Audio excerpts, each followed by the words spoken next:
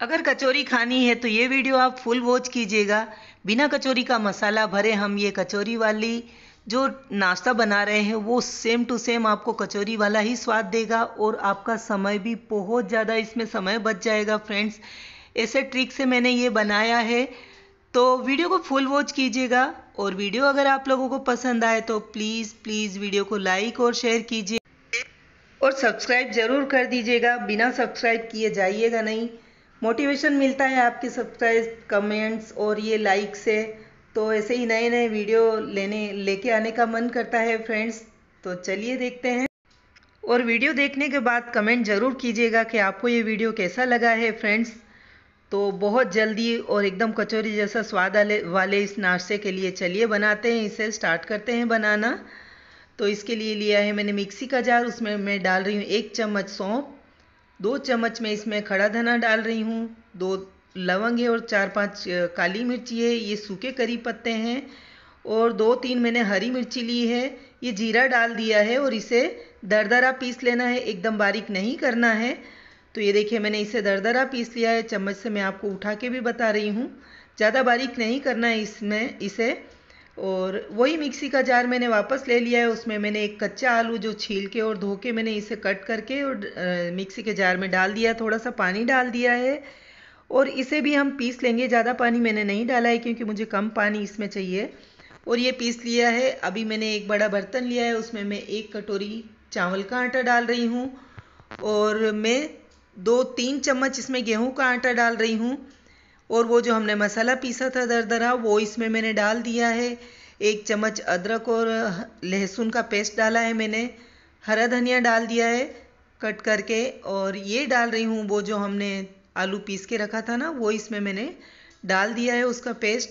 अभी ये जो जार में चिपका है, थोड़ा इसमें पानी डाल के और फिर इसमें डाल देंगे हम। थोड़ा सा और पानी इसमें डालना है। तो अभी मैं स्वाद अनुसार इसमें नमक डाल रही हूँ। और इसे मिक्स कर रही हूँ हाथ से तो हमें इसमें पानी की थोड़ी थोड़ी ज़रूरत पड़ेगी क्योंकि चावल का आटा है, थोड़ा पानी सोखता है ये तो अभी मिक्सी के जार में थोड़ा सा और मसाला रह गया था आलू का तो मैंने उसमें और पानी डाल के और इसमें डाल दिया है। और जितना पानी की ज़रूरत रहेगी, उतना ही हमें डालना है, ज़्यादा गीला नहीं करना है इसे। तो मैं थोड़ा थोड़ा पानी डाल के ही इसे गूँथ रही हूँ। तो ज़्यादा टाइट नहीं, ज़्यादा सख्त भी नहीं चाहिए और ज़्यादा लूज़ भी नहीं मतलब सॉफ्ट भी नहीं चाहिए ये हमें। ज़्यादा सॉफ्ट रहेगा तो फिर पूरी वैसी बनेगी नहीं, मैं मसाला पूरी बना रही हूँ इसकी। तो अभी इसे 10 मिनट ढक के रख देंगे ताकि जितना भी इसे सख्त होना है या नरम होना है वो हो लेगा। अभी मैंने हाथ में थोड़ा सा तेल लगा के और इसे वापस ले लिया है दस मिनट बाद। और मैं इसे मसल रही हूँ अच्छे से। एकदम सॉफ्ट कर लेना इसे मसल मसल के हाथ से। तो देखिए ये एकदम अच्छे से हो चुका है, जैसा हमें चाहिए वैसा नरम हो चुका है ये। अभी मैं थोड़ा थोड़ा सा पोर्शन इसका लेंगी और लोई बनाऊँगी। हाथ में मैंने थोड़ा सा तेल लगाया है और छोटी छोटी लोई बना के इसे हथेली से चपटा करना है। ज़्यादा मोटा नहीं रखना है, चपटा करना है तो ये ऐसे मैं हथेली से चपटे कर करके इन्हें रख रही हूँ। तो ऐसे ही सब लोई को मैं बना लेना है।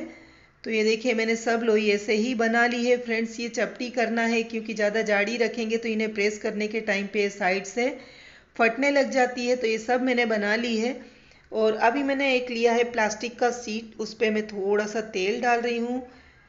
तो ये काम हम ये प्लास्टिक के शीट से ही करेंगे। इस पर मैंने वो एक पूरी का ये रख दिया है, इस पर थोड़ा सा तेल लगा रही हूँ, एक दो बूंद। और फिर से मैं एक प्लास्टिक की शीट इसके ऊपर रख दूँगी। फिर से ये प्लास्टिक की शीट पे मैं तेल लगा रही हूँ। ऐसे ही करके हम, मैं दो दो ही बना रही हूँ। तो अभी ये और एक और मैंने पीस रख दिया है इसका पूरी का, और इस पर भी तेल लगा दिया है, वापस मैंने प्लास्टिक की शीट रख दी है इसके ऊपर, और अब मैंने एक प्लेन सरफेस वाली प्लेट ले ली है, आप कटोरी या लोटा जो भी आपको चाहिए, वो आप इस पर प्लेन रहना चाहिए, और इससे मैं धीरे धीरे इसे प्रेस कर रही हूँ। तो देखिए, ये पूरी दोनों एक साथ बन रही है, और हमें बेलने की भी ज़रूरत नहीं पड़ रही है, ज़्यादा मेहनत भी नहीं लग रही, फटाफट बन रही है, आप दो की जगह तीन या चार पूरी भी रख के और इन्हें बना सकते हैं तो हमारा बहुत सारा समय इसमें बच जाता है। बहुत सारा टाइम हमारा बच जाएगा। साइड से अगर ये थोड़ी थोड़ी कभी फटने लगती है तो इन्हें आप हाथ से भी जोड़ सकते हैं। और ये देखिए, हमारी पूरियाँ बन के रेडी है। फ्रेंड्स ऐसे ही सब पूरी बना लेनी है। बहुत कम समय में ये बन जाती है। तेल मैंने पहले से गर्म रख दिया था कढ़ाई में तो ये मैं दो दो पूरी डाल रही हूँ। और देखिए, कितनी अच्छे से फुली फुली बन रही है। इसका टेस्ट बहुत बहुत अच्छा आता है। जैसे हम कचौरी खाते हैं ना वैसा ही सेम इसका टेस्ट रहता है। तो इन्हें अलटते पलटते सेक लेना है तो ये हमारी पूरी कचौरी बन के रेडी है। बहुत बहुत ज़्यादा टेस्टी में चाय के साथ, दही के साथ, या फिर आप ऐसे ही कहीं सफ़र में भी जाना है तो आप ये बना के रख सकते हैं। अचार या फिर लहसुन की चटनी या फिर चाय के साथ ये बहुत बहुत ज़्यादा टेस्टी लगते हैं। तो मैंने इसे मुरब्बा, लाल चटनी, मीठी चटनी, तीखी चटनी और दही के साथ सर्व किया है। तो फ्रेंड्स ये रेसिपी आप लोगों को कैसी लगी? अगर अच्छी लगी तो वीडियो को लाइक शेयर और सब्सक्राइब कीजिए। तो ऐसी नई नई रेसिपी की वीडियो में लेके आ सकूँ। तो कल फिर आती हूँ एक नई रेसिपी के साथ। तब तक के लिए टेक केयर